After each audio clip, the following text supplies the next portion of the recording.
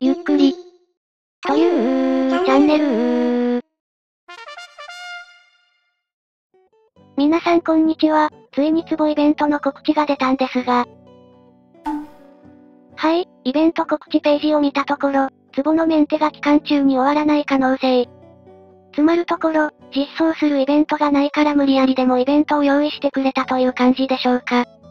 ちなみに、メンテが開けてた場合についてですが、ツボで仲間に料理をあげると、好感度経験値がもらえるようですね。ツボメンテが開けないなら、好感度経験値は、さすがに補填してほしい気はする。入れ替えできないこと含め。イベントは、今週の土曜日、バレンタインデーの9ヶ月前？の日から、6月7日まで。22日くらいのイベント期間になるのかな？イベント内容はこんな感じになりそうです。